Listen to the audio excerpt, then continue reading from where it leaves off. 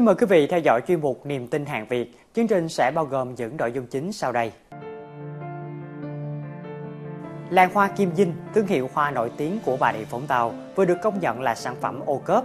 Nỗ lực nâng cao giá trị cho hoa Kim Dinh là hành trình hơn một năm nay của cả chính quyền và người trồng hoa.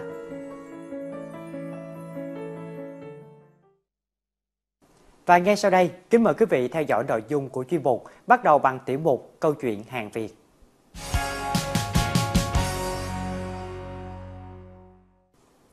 Thưa quý vị, dưa lưới là loại trái cây có giá trị cao, được người nông dân trồng nhiều trong những năm gần đây. Để có loại nông sản Việt có giá trị này, người trồng phải biết cách chăm sóc, bởi đây là loại cây trồng khá khó tính, đòi hỏi công nghệ cao và kết quả của quá trình nỗ lực của người nông dân chính là quả ngọt và được thị trường ưa chuộng. Trước đây, chỉ có các doanh nghiệp mới dám trồng dưa lưới trong nhà lưới vì công nghệ cao và chi phí đầu tư lớn mỗi một nhà lưới có chi phí bình quân từ 300 đến 500 triệu đồng. Nhưng nay, theo thống kê, thì cả tỉnh có khoảng 100 hecta trồng dưa lưới, trong đó trồng dưa lưới nhà kính là trên 20 hecta. Người nông dân đã biết khai thác loại cây khó trồng nhưng cho sản phẩm luôn được thị trường ưa chuộng này. Cái này nếu mà so với tất cả các mặt hàng thì cái này là đặt tiêu chuẩn cao nhất này. Vì lý do là tại sao nó cao? Vì cái này hoàn toàn nhập của nước ngoài không à. Nó hẳn từ nước ngoài kể cái giống nước ngoài rồi cái mô hình làm nhà này cũng của nước ngoài. Rồi thì là công nghệ của nước ngoài hết. Cho nên thu nhập rất cao. Công nghệ này thì đúng là ban đầu khó, nhưng phải có phải có phải từ người hướng dẫn, hoặc là mình phải học hỏi anh em bạn bạn bè, đồng đội. Rồi thì là tất cả những người đã đi trước, đã làm trước, thì mình học những kinh nghiệm, kỹ thuật của người ta để người ta có cái trao trao đổi để kỹ thuật, kinh nghiệm cho mình để mình thực nghiệm. Dưa lưới là mặt hàng nông sản Việt được tiêu thụ mạnh trong giai đoạn gần đây, đặc biệt là mùa Tết đến. Hiện dưa lưới tại vườn mua dao động quanh mức 40.000 đồng một trái. Tại các chợ thì giá dao động khoảng 60 đến 80.000 đồng một trái. Còn trong các siêu thị giá sẽ cao hơn. Tuy giá cao, nhưng các nhà vườn ở đất đỏ cho biết đã được thương lái bao tiêu toàn bộ trong vụ Tết. Đây là niềm vui đối với mỗi sản phẩm Việt khi sản xuất ra được người tiêu dùng đón nhận.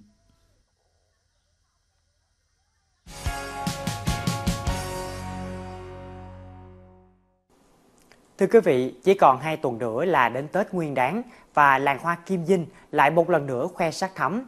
Cả một khoảng thời gian dài chuẩn bị để tập trung vào mùa vụ Tết, người trồng hoa Kim Dinh trộn trả đón chào một mùa thu hoạch lớn nhất trong năm. Và cũng trong dịp đầu năm mới này, bà con nông dân làng hoa nơi đây hân hoan với thành quả nhiều năm cố gắng. Đó chính là hoa Kim Dinh đã được công nhận sản phẩm ô cốp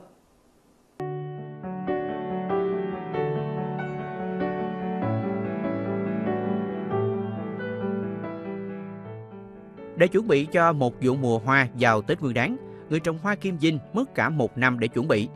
Đây là khâu làm bồn chậu trồng hoa, được nhà vườn đổ khuôn ngay từ thời điểm tháng 2 tháng 3. Để mỗi chậu hoa lung linh tỏa sắc thì mỗi bồn hoa cũng phải tỉ mỉ công phu như thế này. Theo thị hiếu của người trồng hoa, thì người chơi hoa bây giờ chú trọng nhiều đến vẻ đẹp của chậu hoa. Vì vậy người trồng hoa cũng kỳ công hơn trong việc đổ chậu hoa. Và đến tháng 8 âm lịch thì các nhà vườn xuống giống và chăm sóc tỉ mỉ cho đến ngày thu hoạch. Năm nay, làng hoa Kim Vinh có tổng diện tích trồng hoa là 22 hecta. Cả phường Kim Vinh có 656 hộ sản xuất nông nghiệp thì 155 hộ trồng hoa. Đủ các loại hoa được thấy ở đây như cúc, hồng, huệ, màu gà, cát tường, vân vân. Nhưng nhiều nhất vẫn là cúc đại đóa với hơn 13 hecta, chiếm một nửa trong tổng diện tích hoa riêng với góc độ mà cái người trồng hoa thì chúng tôi cố gắng làm sao để đưa ra thị trường những cái ờ, chủng loại hoa làm sao nó đạt chất lượng. À, thứ nhất là về cái ờ, cái bảo vệ cái môi trường.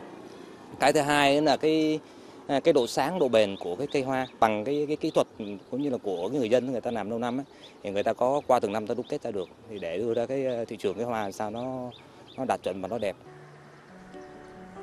Hỗ trợ cho người trồng hoa để xây dựng nền thương hiệu hoa kim chinh đã được chính quyền thành phố Bà Rịa thực hiện nhiều năm nay. Hoa kim dinh được sản xuất tại chỗ, ngay cả giống cũng được bà con tự lựa chọn và nhân giống. Cách thức trồng hoa cũng khác trước, tập trung vào thị hiếu tiêu dùng của khách hàng. Vì vậy, việc hỗ trợ trước tiên cho bà con để nâng cao uy tín thương hiệu làng hoa chính là công tác tập huấn, tổ chức các lớp chuyên đề chuyển giao khoa học kỹ thuật giúp bà con nâng cao kỹ năng trồng hoa. À, để à, nâng tầm thương hiệu à, hoa phường Kim Dinh á, thì Ủy ban phường Kim Dinh đã ờ, tổ chức ờ, các lớp tập huấn ờ, nâng cao kỹ thuật.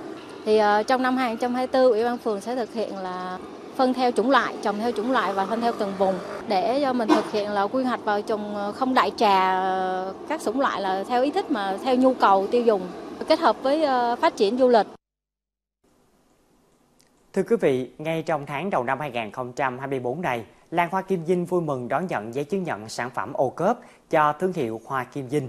Và ngay bên những cánh đồng hoa đang chuẩn bị đến làm đẹp cho Tết của biết bao gia đình, phóng viên của chuyên mục Điềm tin hàng Việt đã có cuộc trao đổi ngắn với ông Hồ Nguyên Nhật, trưởng phòng kinh tế thành phố Bà Rịa về những nỗ lực của cả chính quyền và người trồng hoa để nâng tầm thương hiệu Hoa Kim Dinh. Thưa quý vị, nói đến hoa Tết thì hoa Kim Dinh đã là một thương hiệu nổi tiếng của Bà Rịa Vũng Tàu từ trước đến nay.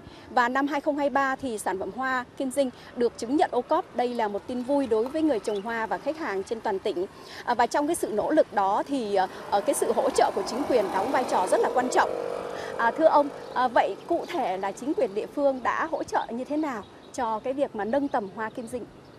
À, qua một qua quá trình à, à làm việc khảo sát với lại các hộ dân thì đối với lại à, sản phẩm hoa kim dinh cũng đã được à, à, đánh giá và được công nhận, ủy ban thành phố đã công nhận đây là sản phẩm ô cốp đạt chuẩn 3 sao. Thì khi mà sản phẩm đã được công nhận cái là cái sản phẩm ô cốp thì đảm bảo tất cả các tiêu chí đầu vào cũng giống như tiêu chí về cái đầu ra. Thì khi mà được lên sản phẩm thì cái thương hiệu của Kim Vinh đã có thương hiệu thì từ đây thì dễ dàng à, giới thiệu quảng bá à, đi tiêu thụ ở các nơi. À, vâng, vậy năm 2024 này thì chính quyền sẽ có cái sự hỗ trợ như thế nào tiếp cho bà con nông dân để nâng tầm hoa kim dinh ạ?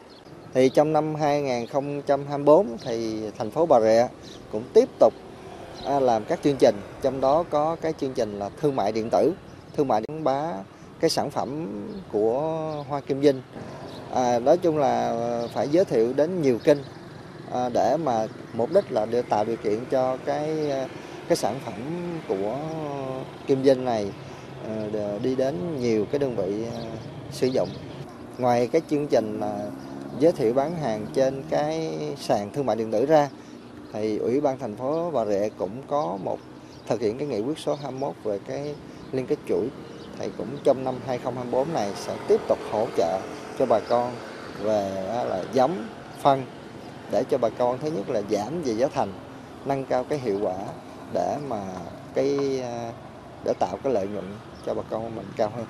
Vâng thưa ông, cái việc mà kết hợp giữa hoa thương mại và sản phẩm du lịch đã được thành phố Bà Rịa đề ra từ lâu rồi. Ông có thể cụ thể hơn về cái vấn đề này được không ạ? À, sau khi có cái sản phẩm uh, ô cốp, hy vọng là sẽ kết nối được những cái tour du lịch À, phường Kim Vinh là một có một cái địa thế là cái cửa ngõ vô địa bàn à, tỉnh Bà Rịa Vũng Tàu. Nên công tác gắn với du lịch là cũng thuận lợi. Hơn nữa về cái vị trí địa lý của phường Kim Vinh nó cũng đã có thuận lợi. Thứ nhất là có một cái du lịch về tâm linh. Thứ hai nữa là cũng có một số cái hồ tự nhiên. Bản thân những cái hồ này cũng đã đã có đã được nhiều du khách biết đến rồi. Thì với cái sản phẩm hoa kim dinh thì sẽ cũng gắn kết được với là một phần du lịch. Nó đúng với cái định hướng của phát triển của kinh tế Bà Rịa là ờ, nông nghiệp đô thị. Đối với lại các hộ dân ờ, khi mà trong hợp tác xã thì phòng kinh tế cũng có định hướng là một số hộ dân nên trồng những cái cây mà cây gọi là cố định để chi để có một cái sản phẩm để mà phục vụ cái du lịch. Cảm ơn sự trao đổi vừa rồi của ông và cũng mong rằng làng hoa kinh Dinh sẽ giữ được vị thế của mình trong những năm tiếp theo. Xin được cảm ơn phóng viên Minh Huệ và cuộc trò chuyện vừa rồi. Thưa quý vị, xây dựng và có được thương hiệu sản phẩm đã không hề dễ. Việc giữ một thương hiệu sản phẩm lại càng không đơn giản. Trong đó có vai trò quan trọng của việc tìm đầu ra ổn định cho sản phẩm. Và ngay bên trong mùa vụ Tết năm nay, các nhà vườn ở làng hoa Kim Dinh đang trong tâm trạng thấp thỏm vì à, lượng hoa chưa được đặt mua vẫn còn khá nhiều.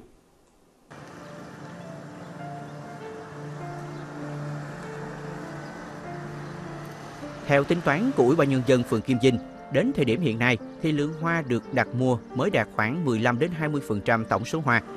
Cụ thể như loại hoa cúc đại đóa hiện còn dư khoảng 1.000 chậu đường kính 1 m, 4.000 chậu đường kính 80 cm và khoảng 15.000 chậu đường kính 60 cm, 30.000 chậu đường kính 35 đến 40 cm. Bà con nông dân cho biết năm nay thương lái thu mua hoa ít hơn, thậm chí có người chỉ đặt hàng nhưng không đặt cọc.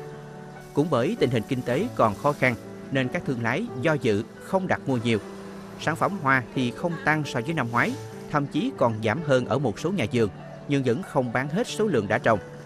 Điều mà người nông dân luôn mong muốn không chỉ là nâng tầm sản phẩm mà còn là việc kết nối thị trường sao cho sản phẩm Việt vững chân, không phải chịu cảnh được mùa mất giá.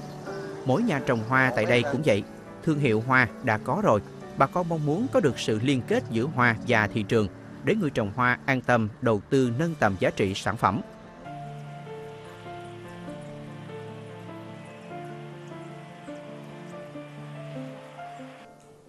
Thưa quý vị, sản phẩm Việt tự hào người Việt luôn mang đến niềm tin. Mỗi sản phẩm Việt đều đáng tự hào bởi sự nỗ lực quyết tâm nâng tầm sản phẩm của người sản xuất cũng như sự hỗ trợ của chính quyền địa phương. Bên cạnh đó thì à, yếu tố thị trường cũng cần phải xem trọng để có được sự liên kết giữa sản xuất và tiêu thụ. Có như vậy thì sản phẩm Việt mới khẳng định được hết giá trị thương hiệu của mình. Xin cảm ơn quý vị khán giả đã xem chuyên mục Niềm tin hàng Việt của Đài Phát thanh Truyền hình tỉnh Bà Rịa Vũng Tàu. Xin kính chào và hẹn gặp lại quý vị vào chuyên mục này kỳ sau sẽ phát sóng cũng trong khung giờ này ngày 9 tháng 2 năm 2024, tức ngày giao thừa Tết Nguyên đán Giáp Thìn. Trân trọng kính chào.